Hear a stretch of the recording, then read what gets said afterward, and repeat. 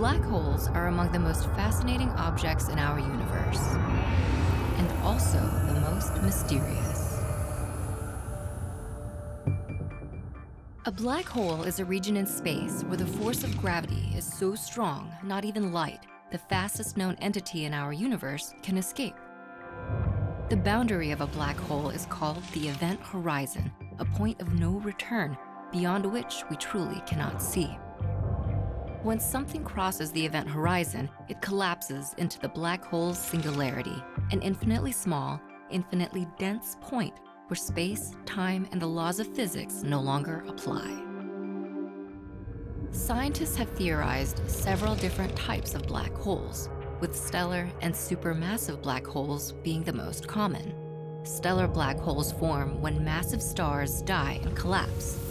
They're roughly 10 to 20 times the mass of our sun and scattered throughout the universe.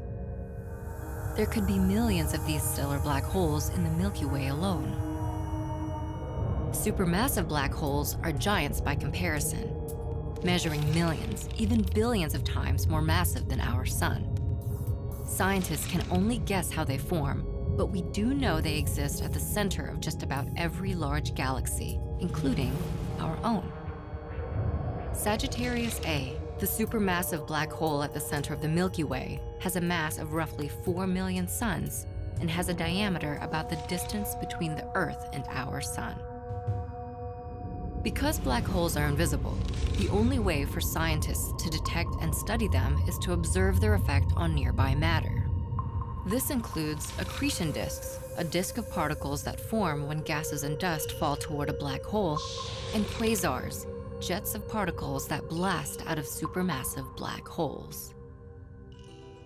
Black holes remained largely unknown until the 20th century. In 1916, using Einstein's general theory of relativity, a German physicist named Karl Schwarzschild calculated that any mass could become a black hole if it were compressed tightly enough. But it wasn't until 1971 when theory became reality.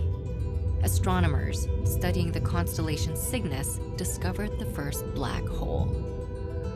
An untold number of black holes are scattered throughout the universe constantly warping space and time, altering entire galaxies, and endlessly inspiring both scientists and our collective imagination.